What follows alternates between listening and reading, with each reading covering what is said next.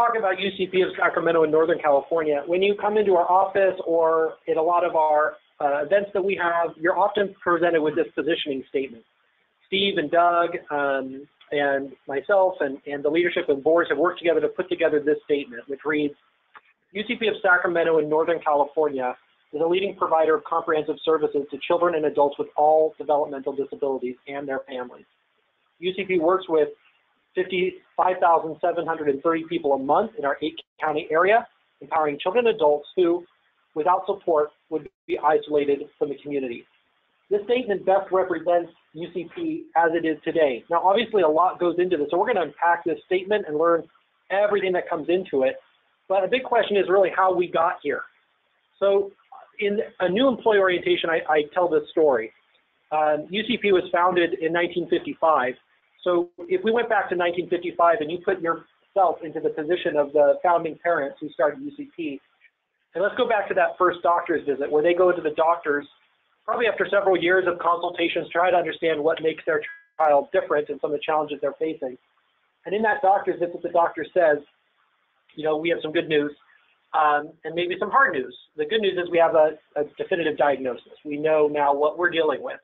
This child, your child, you know, Johnny or Amelia, um, you know, they have cerebral palsy or they have autism, they have an intellectual disability. This is just who they are. This is who they will be for the rest of their life, and now it's about learning your child and um, the challenges that come with your child. Every person I've ever met who um, has a child with a disability talks about how in that moment all of your dreams and expectations start being rewritten. Does my child still go to college? Does my child still go um, to live on their own? Are, you know, is my child um, going to be okay when I die? All of a sudden, different expectations come, and, and you're rewriting your hopes and dreams for the children. Now imagine in that moment the doctor also telling you that you're, you should start to prepare yourself, that before your child turns 18, you're likely going to need to place them permanently in a state institution. On the right, you see uh, a picture of Sonoma Developmental Center, the closest state institution here. That you will be putting your child in the inpatient for the rest of their life. They will live and die there. They may take a box of their personal belongings, and you'll have visitor rights as a parent. But this is what you should do as a good parent for your children. You should start to prepare and I ask our new employees, I say, I want you to imagine how much convincing I need to do as a doctor to make you feel like this is the right choice. And the answer is, I don't know how I'll ever feel good about this choice. So this is how UCP got started. Families said no, families said we want options. Eventually the state realized that the services are higher quality and lower cost in the community and they created the community services that we have today. So that's how UCP was founded in uh, uh, 1955 so today we have over 19 distinct programs that we operate here at UCP. And 19 programs are a lot. It's hard to keep track of them all um, for a board member or for consumers or families. So of these 19 programs, we talk about four divisions that these programs fall into. The first is our respite services. This is in-home care and support um, delivered by our workers every day out in the communities, out in homes. We have adult programs. These are primarily comprised of 10 facility-based adult day programs, which we've talked about. These are 10 individual programs um, at five different facilities throughout Sacramento. But we also have a tailored day program and an independent living program that we provide. The third division is our transportation program. This our transportation division. This comprises three programs, UCP Transportation, which is large buses that go on fixed routes, smaller minivans through a special contract with Paratransit that does on-demand rides. And every rarely we do community transportation. So this is taking kids up to snow camp. This is first These are just one-off trips that we do to support the community. Our fourth and final division is our recreation and therapy division. This currently composes of ACE, our ABA program, Saddle Pals, and ACE Camp. So what we're going to do is we're going to take a quick look at each of these divisions, the programs and services that they offer, as well as the statistics that make these programs unique. First, we're going to talk about Respite, one of our most well-known programs. Respite is a service that provides in-home care and supervision for families. What that means is that we're sending workers out from the community, almost always into somebody's home, to provide care and supervision for a child with a developmental disability. Most of the time, it's the children under age 18, but it also can be adult children living in the home. When you go back to that family in the doctor's office trying to figure out how to keep their child, child at home and what they need. I asked our staff, what do you think the first thing they asked for was? And the answer is the same thing every new parent asks for, which is, I just need a little help. I need help doing the dishes. I need help doing running errands. I need help. I need some time to sleep. I just need a little help. So respite really has been the foundation of this service industry from the very beginning, making sure that our families that are caring with a child with disabilities and all the increased stress and work that that entails have the support at home so we keep families together. A couple of key things for this program, and we're going to talk about this as we move to each division. Matching is very important, matching a worker with a family, the right worker with the right family, or workers, plural. That's really important for a good relationship. Respite is also UCP's fastest growing program. As we move into each division, we're going to talk about the number of clients and the number of service hours. Clients are unique individuals that participate in this program for clients. Service hour is an hour of service a client receives in this program, so an hour of respite service. Respite has 28% of our total clients, which is uh, almost 1,600 clients that participate in Respite, and total 232,000 hours, or about 28% of our total service hours. That's not a typo, it's 28 and it's 28. So a little over a quarter of our services go to respite. Here's a quick map if you're familiar with the heat map. The, the red and orange areas represent high, highly dense, uh, dense locations of families that are receiving services. The blue is less families, so you can see where our families are concentrated throughout the region. We share some stats that separate out Respite in particular. I mentioned it's our fastest growing program. We've had a 5.8% increase in families over last year. We've also increased our service hours by 8.1%. So not only have more families joined, but families are using more services in respite this year. The most common diagnosis among our respite families is autism at 62%. And I want you to pay attention to this because this is going to change as we move from program to program. Second highest is intellectual disability, with uh, cerebral palsy coming in at 7%. And the majority of folks served by respite are children. 76% of respite families are children.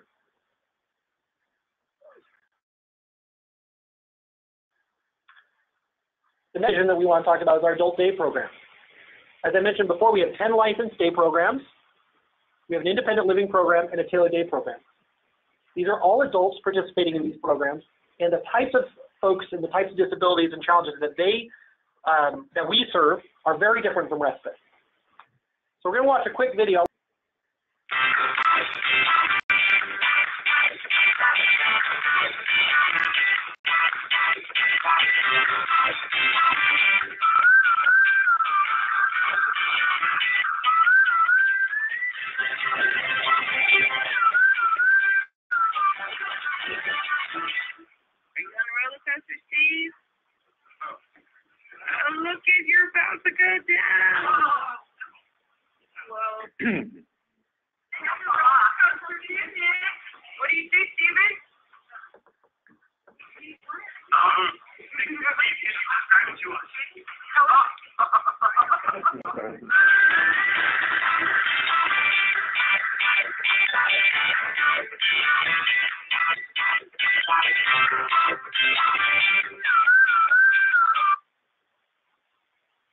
Thank you to Steve for that wonderful video. If you looked and paid attention during the video, not only did you see a client experiencing something for the first time, in this case a virtual reality, um, not video game, I don't know what to call it, experience, where he's riding a roller coaster. If you can imagine folks with significant disabilities, that's an experience they only hear about. So for him to look around and get that sense was pretty amazing. In fact, people kept trying to talk to him and he couldn't process anything outside of that video. So adult day programs are licensed uh, by a couple different agencies. They're facility-based, or at least UCP programs are, so you would have seen the facility in those videos uh, to serve up to about 50 clients in per program. The clients you saw have really significant support needs. These are folks that are, um, uh, have, are at least some of the most significant uh, disabilities for any day programs out there. You saw group program, so this is a group program clients are participating in, and group staffing. Day program clients represent 7% of our total clients, about 427, and about 50% or 49% of our service hours, over 400,000 service hours. The reason is these 427 clients are generally coming to program five days a week six hours a day, so they're receiving a lot of services. We have uh, these five locations. We have one in Woodland. We have one in Rancho Cordova. That's our new Odyssey program. We have a location in uh, Sacramento uh, off Lathrop that serves our SAGE program. And we have a North Highlands location serving four programs and a Orange Grove location serving three adult day programs. When you look at the clients served by adult programs, you see a very different mix. 51% of our clients are nonverbal, meaning that, that they may not be able to communicate at all or may need to communicate through gestures, um, eye movements, um, or some other types of communication device. 50%, again, not a, not that that's correct. 50% of our folks are non-ambulatory, which means that they are in a wheelchair. Um, and another 14% of those are fragile um, ambulars. That means that they may need a staff to walk with them. They may be sitting in a wheelchair for parts of the day. They'll have a cane. In this case, 61% of these folks, their primary diagnosis is an intellectual disability, as opposed to over 62% in respite. So a big difference of the types of disabilities for these programs. And 27% of the clients that we serve in those programs have an advanced medical condition, or what we call a restricted health condition, which means that they need a medical professional on site for them to even participate in educational activities. The third division that UCP operates is our transportation division. This consists of UCP transportation, which are these large buses that you see here. It also includes paratransit type shuttles, like in the top right of this photo. This is a special contract with paratransit where we're handling overflow for them, and they can, we generally drive those smaller vehicles, and it's called on-demand on -demand service. So it's a one-way trip that's scheduled for a particular purpose, whereas the large vehicles are doing fixed routes. So they're running the same route every day, again, generally taking people five days a week to a program at home. Currently, UCP operates 33 fixed routes. We have about 45 buses that are we have in service through our fixed route service, and we have 25 on-demand shuttle routes. So the way this these this service serves clients and service hours is a bit unique. UCP Transportation only accounts for about 9% of our clients because those and those clients though are on buses about five days a week. So they're getting a lot of reoccurring service through UCP throughout the year. So those 9% of clients are receiving 8 18% of our total service hours.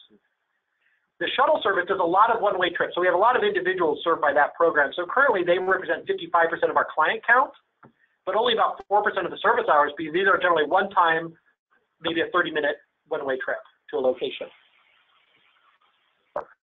Some stats for transportation. We don't normally have diagnosis information, uh, so I don't know all the details for the folks that come on and on the bus, but we do know uh, miles driven. We've driven uh, almost 16, I'm sorry, 1.6 million miles this year between those two programs. Again, transportation department is the dark blue, shuttle is the light blue. We've done almost 200,000 individual trips uh, between those two buses you know, those translate to about 780 trips per day on and off our vehicles and over 6,000 miles driven a day combined by our two programs. And collectively, it is about 180,000 service hours. You know, if you think about it, we talked about a full-time work is uh, 2,080 hours. Right. So use that for comparison. Your job, if you're working 40 hours a week, which some of us don't, is about 2,000 hours. Um, and this program alone does 180,000 hours. The last program that we want to talk about today is our Therapy and Recreation Department Division. This includes ACE, ACE Camp, and Saddle Pals. When we talk about clients and service hours, they really only represent 1% of our clients, or 47 clients, and 1% of our service hours, 5,100 hours. But the impact of these programs is not well represented by a, a percentage alone. Um, these folks are receiving really significant services in the community, and it's something that's always been a part of UCP and always will be. Um, you see here a picture of our ACE program, where kids are learning socialization skills and communication skills in an after-school type program. You see in the top right our Saddle Pals program, which is therapeutic horseback riding uh, for folks with all types of disabilities, and of course our ACE camp. And I have to show you a video about ACE camp. So We're gonna get one more video here.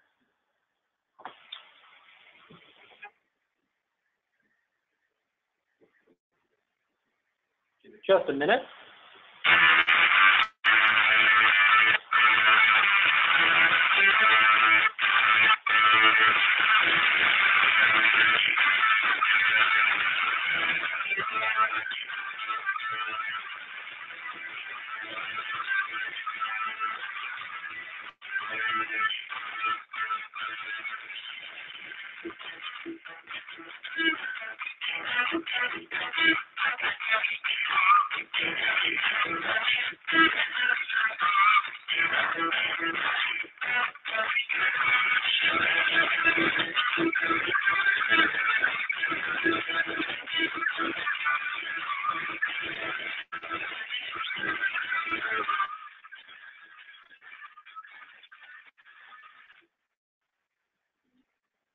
I have to say thank you again for Steve. He puts together those videos and they, they're just a fantastic short overview of what we do.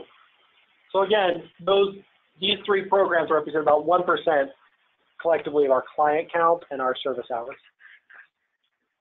So now we've talked about each of the four divisions, we're going to combine that information and show you guys really how that contributes to what we what we report to the board and to our communities about the folks that we serve collectively. So combined, once you take all of the clients, the most common diagnosis over the last year has increased, uh, has been autism. It was autism last year, but the percentage has increased. So last year, 42% of the folks that we served had their primary diagnosis of autism. Intellectual disability comes in second at 34.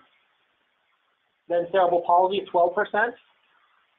Only 1% of our folks have epilepsy, and 11% have some other condition that qualifies for service.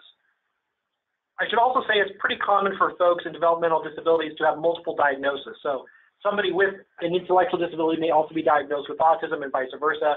This is just their primary diagnosis that makes them eligible for service. 49% of the folks served by UCP are under the age of 18. And that's because our respite department is so large. But you can see 17% of folks are ages 18 to 29, 10% are 30 to 39, and then we go up from there. Gender, 67% uh, of our folks are male. And you guys might be surprised by that, but there's actually a pretty simple explanation. Um, autism is much more frequent in male than female. So because we have such a high amount of folks with autism being male, it skews the gender generally for the average client at UCP, about 9 out of 10.